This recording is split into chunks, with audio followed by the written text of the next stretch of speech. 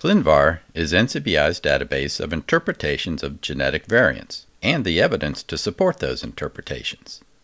The database is populated by submissions from clinical genetics testing labs, research labs, expert panels, and other groups from around the world.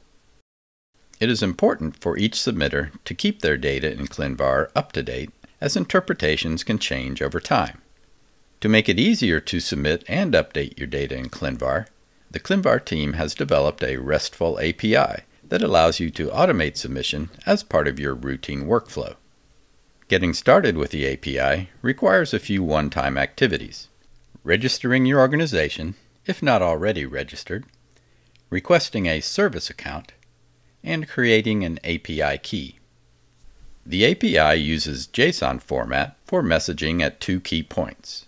First, in response to data submission, then again when checking the status of your submission. Records that are successfully processed are made public in ClinVar in the next weekly release. Full documentation for using the API is available on the ClinVar website.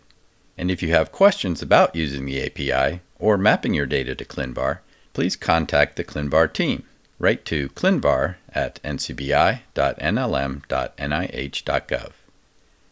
And finally, a special thanks to all those who share data through ClinVar.